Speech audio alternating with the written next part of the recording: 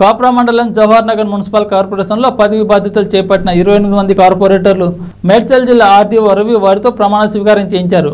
అలాగే Jawahar Nagar municipal corporation మేయర్గా ప్రమాణ స్వీకారం చేసిన మేకల కావ్య డిప్యూటీ మేయర్గా రెడ్డిశెట్టి శ్రీనివాస్ గుప్తా ప్రమాణ స్వీకారం చేశారు. నమస్కారం. నాతో పాటు ఇరవై ఏడు మంది కార్పొరేటర్లు నన్ను మేయర్గా ఎంచుకున్నారు. నేను ఇచ్చిన హామీలు ప్రతి ఒక్కటి నెరవేరుస్తానని నన్ను హై మెజారిటీతో గెలిపించారు. వాళ్ళ వాళ్ళకి ఇచ్చిన హామీలన్నీ నెరవేరుస్తానని నన్ను ఏకగ్రీవంగా ఎన్నుకున్నారు. ధన్యవాదాలు. ప్రజలకు మీరు ఏం సందేశం ఇస్తున్నారు? మేయర్గా జవహర్ నగర్ని ఒక స్వచ్ఛ జవహర్ నగర్గా రూపొందిస్తానని చెప్తున్నాను. ఒక నాయకురాలిగా కాకుండా ఒక సేవకురాలిగా ఉంటానని హామీ ఇస్తున్నాను. ఈ నూతన కార్పొరేట్లో ఎన్నో సమస్యలు ఉన్నాయి. ఈ సమస్యలు ఎవరిని అంటే ఎవరిని ఆదర్శంగా పనిచేస్తారు Um, మల్లారెడ్డి సార్ని కేటీఆర్ సార్ని అలాగే కేసీఆర్ గారిని మా మహేందర్ అన్నని యూత్ లీడర్ని వాళ్ళని ఆదేశంగా తీసుకొని నేను జవహర్ నగర్ని ఒక స్వచ్ఛ జవహర్ నగర్ రూపొందిస్తాను.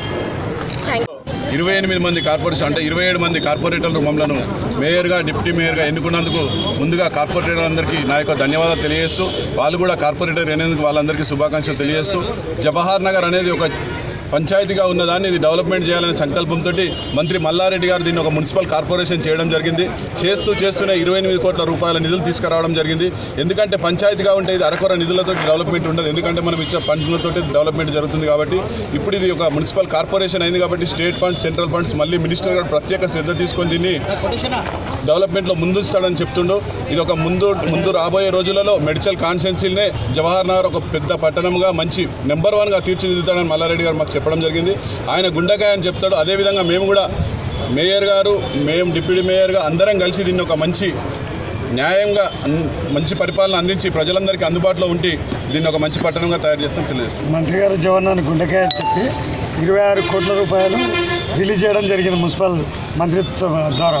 ఆ ఇరవై ఆరు కోట్లు ఇంతవరకు ఇక్కడ వినియోగింపు చేయలేదు. మనకు అది వచ్చిన రోజు నుంచి మనకు ఎలక్షన్ ఉంది అదే ఉంది కాబట్టి కాలేదు మీ అందరికీ తెలుసు. తెలుసు కూడా మీరు అది కూడా ఏ విధంగా దాన్ని ఇంప్లిమెంట్ చేయబోతా ఉన్నారు? ఇంప్లిమెంట్. విడతల వారిగా మేము ఎక్కడెక్కడ రోడ్లు డ్రైనేజెస్ ఎక్కడెక్కడ అవసరం ఉన్నాయో మా దగ్గర ఆల్రెడీ మేము దాన్ని బట్టి తీసుకోవడం జరిగింది స్టార్ట్ అవుతుంది. ఒక వన్ టూ మంత్స్లో మొత్తం ఆ డబ్బు ప్రణాళిక స్టార్ట్ అయిపోతుంది.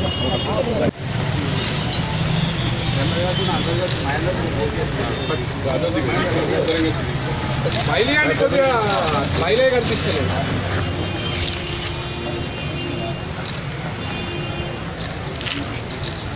మహేందర్ అన్నని మేయర్ని అభినందిస్తున్నాం ఆయనకు